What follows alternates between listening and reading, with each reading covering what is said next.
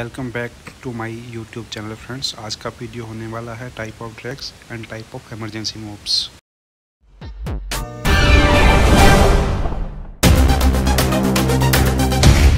shoulder drag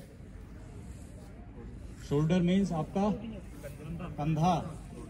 shoulder drag आपको बहुत सारे तरीके बताए जा रहे हैं आपको वहाँ उस तरीकों को चेंज करने की सा तरीका मैं अपनाऊं ग्राउंड में जो आपकी विवेक और बुद्धि है, उसका इस्तेमाल करना है सिचुएशन जो अलाउ कर रही है, वो करना है। फिर आपको डिसाइड करना है कौन सा मूव आप एख्तियार करेंगे वहाँ पे, ठीक है?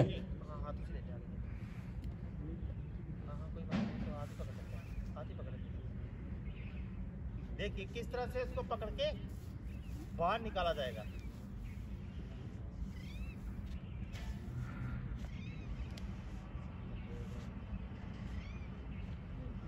अब आप बोलेंगे कि यार मैं ऐसे ही क्यों निकालूं? मैं तो शॉर्ट पकड़ के भी निकाल सकता हूँ।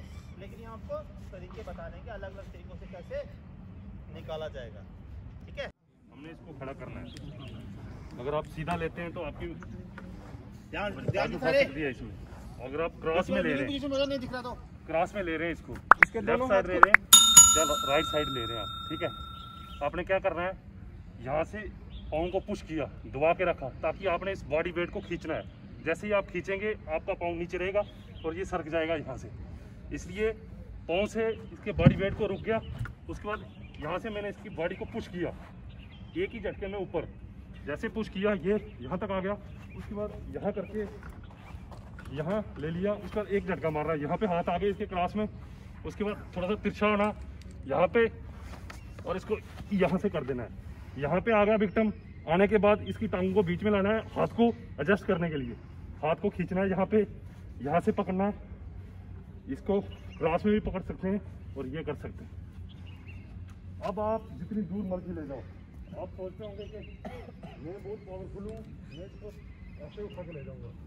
लेकिन पॉसिबल नहीं है। यहाँ पे आपको विक्टम का वेट नहीं लगेगा ऐसे उठाने से। और विक्टिम और इसको कस के पकड़ लेना है ताकि इसका टोटल मूवमेंट रिस्ट्रिक्टेड हो जाए। एकदम कहीं हिल नहीं पाएगा ये।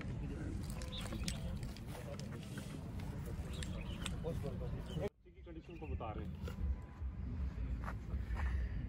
यहाँ पे हाथ को इंसर्ट करा।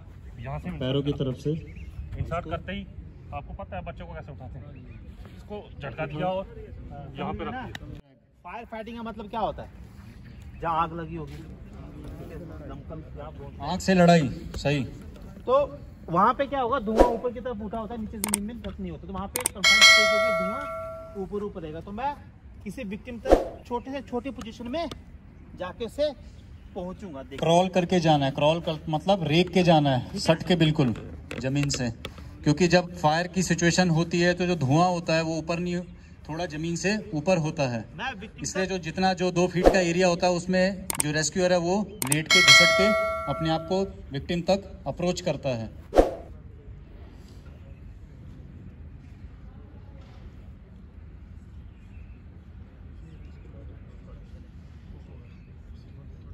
अब ट्रायंगुलर बैंडेज की सहायता से इसके दोनों हाथ को बाँध दिया गया है टाई कर दिया गया है। और इन्हीं दोनों हाथों के बीच से रेस्क्यूअर अपना हेड इंसर्ट करेगा ताकि उसके वेट को, बॉडी को स्टेबलाइज कर सके और उसके वेट को अपने शोल्डर या नेक के एरिया में ले सके। ये देखिए अभी। इससे इजीली वो क्रॉल करके रास, ये जो हाथ का मूवमेंट है, वो इसलिए है कि वहाँ पे रिमूव हजार्डस मटेरियल कोई कांच का टुकड़ा हो, कोई कंकीला पत्थर हो, उसके लिए ये एरिया क्लियर किया जा रहा है। ताकि उसके हेड में या फिर कहीं किसी एरिया में बॉडी पार्ट में कोई इंजरी ना हो। ये इस तरीके से इसको किया जाता है।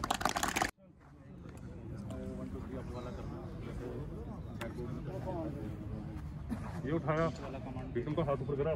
ग्रोइंग पार्ट में हाथ इंसर्ट करा। यहाँ से पकड़ा।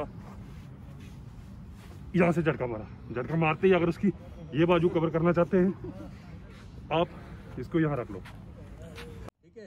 नॉन एमरजेंसी मूव में मतलब आपातकालीन स्थिति नहीं है मगर फिर भी आप उस मूव को करेंगे। तुरंत अलाउ नहीं कर रहा है मगर आप उसको करेंगे। तो नॉन एमरजेंसी मूव में आपके आते हैं एक direct ground to lift direct ground to lift मतलब ग्राउंड में अगर विक्टिम लेटा हुआ है तो उसको डायरेक्ट ही ग्राउंड से लिफ्ट करके इसमें तीन रेस्क्यूअर्स की हेल्प होती है जिसमें कि एक अपर बॉडी एक लोअर बॉडी और एक सेंटर में ताकि तीनों उसका बॉडी का बैलेंस रहे। यहाँ पे एक क्वेश्चन आया था क्लास से कि सर विक्टिम भारी हो तो कैसे उठाएँगे आप? वो ये ड्रैग अप्लाई करेंगे आप। ड्रैग ग्राउंड टू लिफ्ट ये 80 के से विक्टिम ज़्यादा है। एक रेस्क्यूर नहीं उठा सकता उसको। इसलिए इसमें तीन रेस्क्यूर का इस्तेमाल होता है। अब ड्रिल देखते रहे ना कैसे उसमें पोजिशन ले ली है और हाथ कैसे इंसर्ट कर रहे हैं उसमें। टेक पोजीशन सेंटर वाला जो रेस्क्यूअर है वो कमांड देगा उसी को लेफ़्ट और राइट वाले रेस्क्यूअर भी फॉलो करेंगे। Insert hand. Lift the patient on my command. One two three lift. Lift lift. इसको क्या है कि जैसे वज़न ज़्यादा हो जाएगा तो अपने घुटने का सहारा ले सकते हैं और फिर अपनी तरफ़ रोल करेंगे इसको। Roll the patient on my command one two three roll roll roll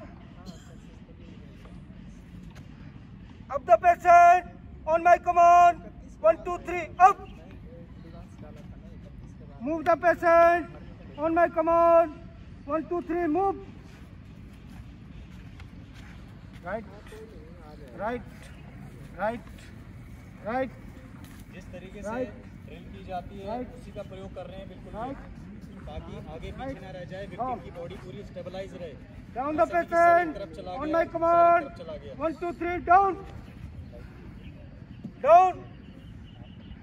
Down. मिला के हाथों की या पैरों की। तो उस जिस व्यक्ति को हम दो लोग उठा सकते हैं। कि ठीक है इसको हम दो लोग कैरी करके लेंगे तो किस तरह से करेंगे? उसको मैं यहाँ से पहले उसकी पहले को मैं आराम से उसको लूँगा। ठीक है? उसको यहाँ रखूँगा ठीक है? उसको पकड़ा मैंने ये देखिए। ठीक है? और दूसरे उसने क्या करा उसके? पाँव पकड़े। ठीक है? लड़े मूव कर दो। लेफ़्ट कर दे। कप्तान, उसकी हाइट ज़्यादा है। और ये जो दूसरा एस्कोर्ट था वो मेरी हाइट के बराबर था। देखिए, अब बोलूँगा अब ठीक है? अब इस विक्टिम को लोग वहाँ भी लेके ठीक है? स्पेस कम थी ज़्यादा थी तो वहाँ पे कोई भी चीज़ डिसाइड हो जाती है। हार्डबोर्ड स्ट्रेचर अवेलेबल नहीं था हमारे पास। चादर भी आपने चादर से ही उस टाइम इमरजेंसी में क्या करना ऐसा नहीं कि यार कंबल तो है नहीं मरने दो अब कंबल नहीं है तो हम क्या करेंगे ऐसा होता है क्या? आपका चादर आप उसको भी इस्तेमाल कर सकते स्पेस कम था, मैं उस विक्टिम के पास कैसे करके पहुँच गया, ठीक है? अब मेरे पास क्या है? चार है। तो मैं इसको किस तरह से इस्तेमाल करूँगा? ऊपर से नीचे से देखूँगा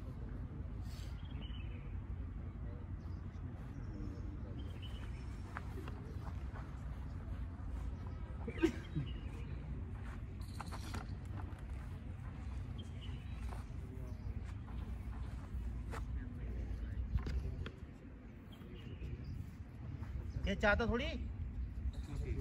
छोटी है।